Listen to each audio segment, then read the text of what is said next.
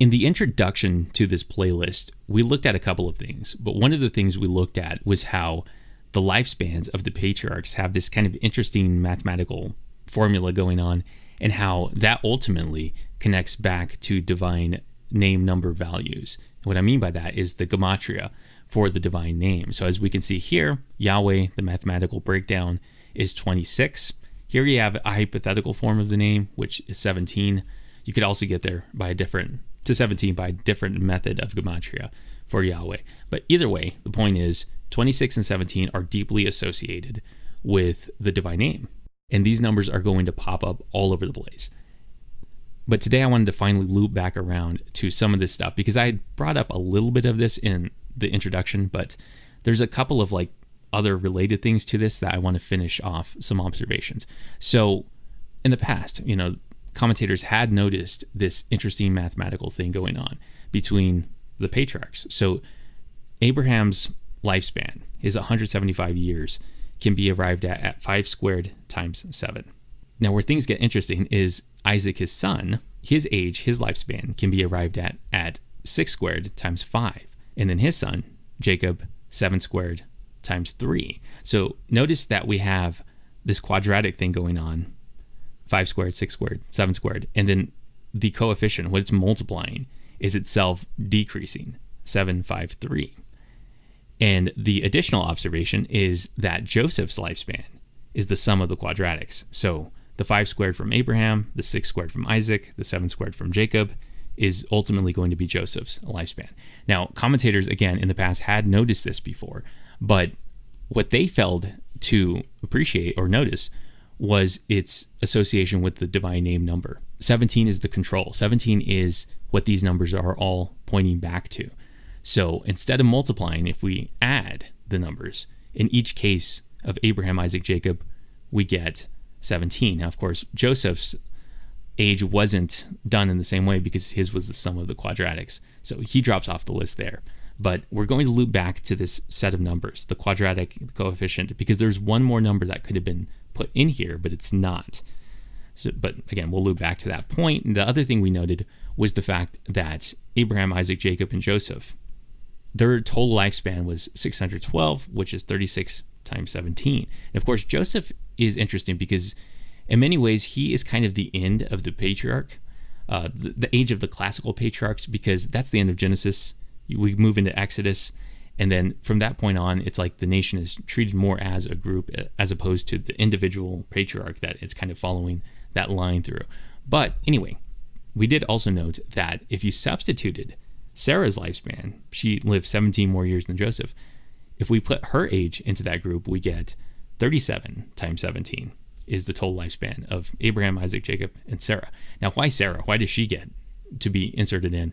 I think on one hand, it's kind of obvious that she's ultimately the matriarch, right? She's the wife of Abraham that was promised Isaac was supposed to come through that line. So on one hand, there's that. On the other hand, um, it could be that there's a gematria thing going on. In the case of Isaac, Jacob, and Joseph, here I have the number breakdown, but just look at this.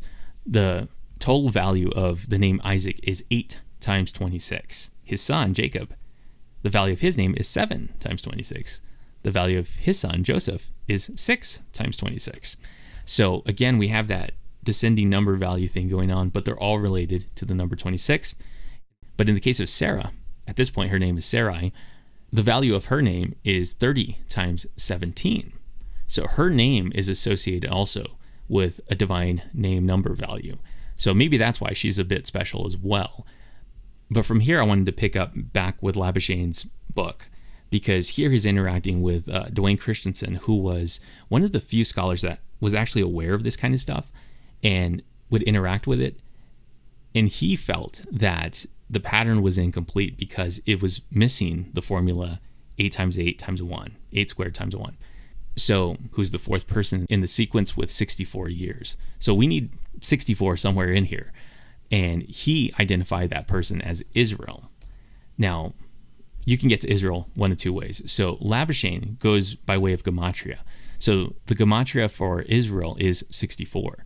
So, he thinks that that is ultimately a reference to Israel. In this case, the number does not represent the lifespan of Israel, which is the same as that of Jacob because they're the same person, but the presence of the alternative name of Jacob.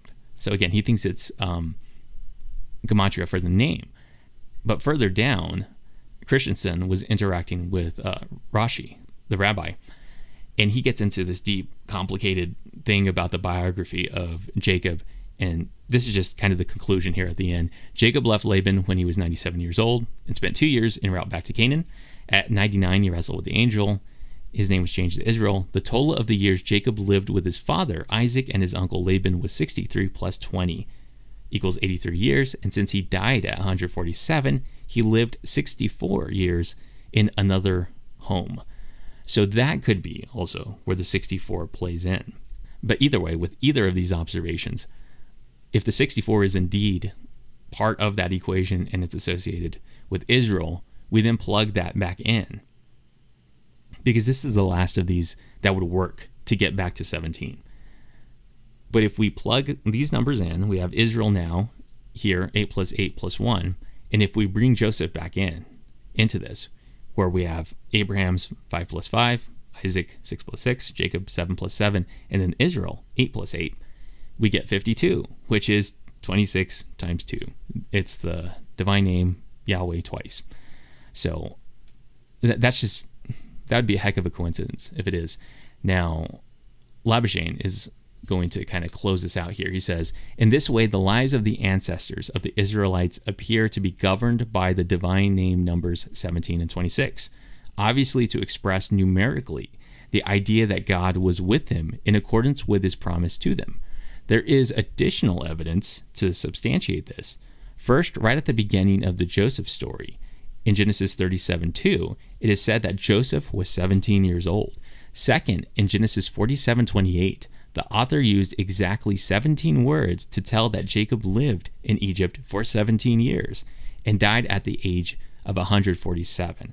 By the way, if you substitute, or if you subtract rather, the 17 from the 147, the years he was in Egypt, we have 130 years, which is the rest of uh, Jacob's lifespan. That's interesting because 130 is 5 times 26. So we have the other divine name number value back to Labuschagne. Finally, in the passage dealing with the death of Abraham in Genesis 25, 7 through 11, we count exactly 68 or 4 times 17 words. So, once again, I wanted to return back to that. And again, I'm leaving many things off the table because otherwise this could get overwhelming with all of the potential number things going on. But I just don't think that that's a coincidence. I think you can press this stuff and find coincidences, but so far all of this stuff is just superficial. It just is what it is. I'm not necessarily doing weird things where i'm i feel like pulling things that just have nothing to do with what's there in the text. This is the superficial things going on. We just have the names. We have their lifespans. We have the value of their names. And over and over and over again we're going to get 17 26 these numbers are popping out all over the place. So i, I don't think it's coincidental but that's all for this time, and we will pick up again with more in the future.